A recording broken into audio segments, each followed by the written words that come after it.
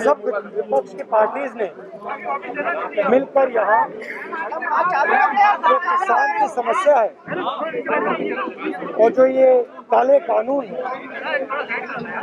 उनको हटाने के लिए अपना यहाँ सपोर्ट किया पार्लियामेंट में आप जानते हैं क्या हो रहा है? पार्लियामेंट में हम पेगासस की बात करना चाहते हैं। वहाँ पे वो पेगासस की बात नहीं होने दे रहे हैं। नरेंद्र मोदी जी हर हिंदुस्तानी के फ़ोन के अंदर घुस गए हैं। और यहाँ पे हम किसानों को, हिंदुस्तान के सब किसानों को अपना पूरा का पूरा समर्थन दे बहुत बहुत धन्यवाद।